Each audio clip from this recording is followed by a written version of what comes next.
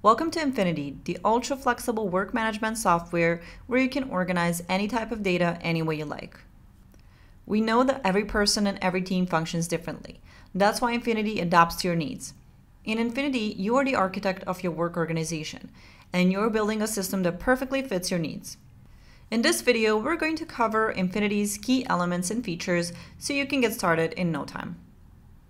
First, let's go over the basic building blocks of Infinity. The biggest Infinity unit is a workspace, and inside one workspace, your work is arranged into boards. So for example, a workspace can be a company or a brand, and the boards inside can be the different departments in your company, like marketing, sales, business development, and so on. When inviting your team members, you can invite them to the whole workspace or just specific boards. Let's create a new board. We need the HR department, so let's set it up. We'll create a new board by clicking this button right here. In Infinity, there are three ways you can set up your board. You can start from scratch, use a template, or import a board from Trello. This time, we're going to start with a template. Now we need to name our new board. We can add a short description. And let's choose a new color. We're going to keep this board private because we don't want the whole team to see this data. We're only going to invite a few team members and let's click continue. We already have our other departments and now we need to set up our HR department. So we're going to choose this HR template. Here we are. This is a board in Infinity. It's divided into three sections. On the left, you'll be able to see the folder tree. In the center, you'll be able to view and edit your items, and at the top, you'll see the customization options. Inside the board, you can classify your work further into folders and subfolders, which can contain different types of data. For example, here we have two folders, one with an employee database and one where we're tracking employees' days off. The basic unit of Infinity is an item, and it can be anything, a task, an idea, a database record, a lead, a note, or whatever else you need to organize. In this case, one item would be one employee in our database together with all the information related to them. And you can expand an item to view or edit the details.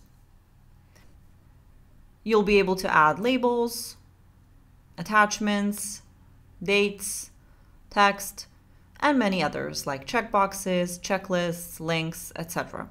Here we can also easily edit our columns add new ones,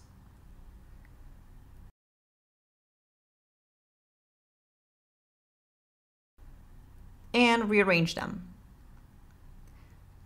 Now that you know the basics, let's create another folder for tasks.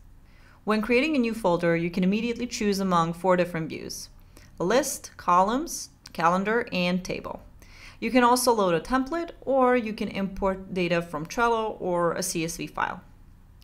Let's choose a table so we can quickly jot down our tasks for this department. We'll add tasks by typing directly into the items and hitting enter. Now let's add some attributes to our tasks. First, we'll need an assignee to determine who's responsible for each task. Then we'll add a description to note down some details about this task. Let's also add a start date and an end date. We can reuse those from the days off folder. We'll also need a status label so we can track our progress on these tasks.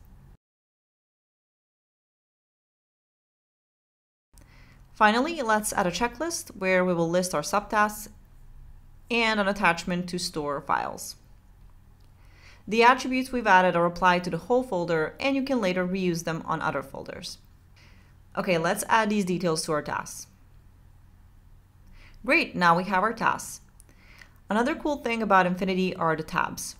Tabs, in combination with customization options here, will allow you to see specific data from a folder or view your data differently. So let's see what we can do with them. We'll create a new tab where we'll choose a different view. In Infinity, you can choose among four views, list, columns, calendar, and table. Let's choose columns and group them by status so we can track our progress. We can easily move our tasks around as we work on them. In the next tab, I want to filter out only my tasks.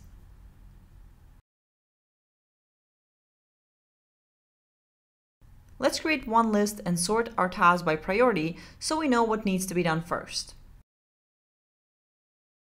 And let's customize our list to see only what we need to see.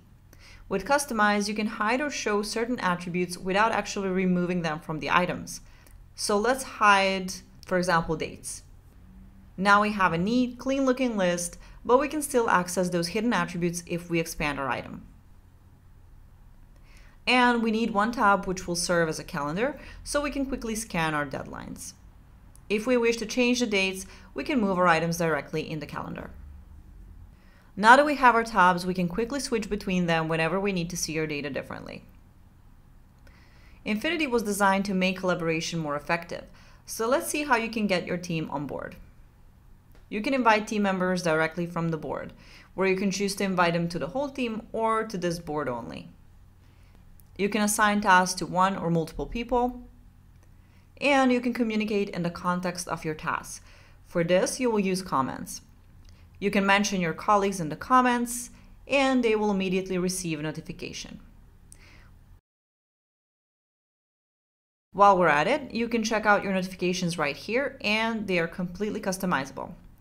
Each user can choose to turn off all notifications or just some of them, and you can choose to delay notifications or disable them at certain times of day. Finally, you can use the activity log to track any changes that happen on your board or on any specific item. To see some other cool things you can do with your folders, just click this ellipses right here and you'll be able to open folder settings and do things like duplicate your folder or export your data to a CSV file. If you want to switch to another board, you can do it by clicking this button. Here you will see all your workspaces and boards, so you can choose where you want to go next. And if you want to go back to your dashboard, just click My Dashboard or the Infinity logo at the top.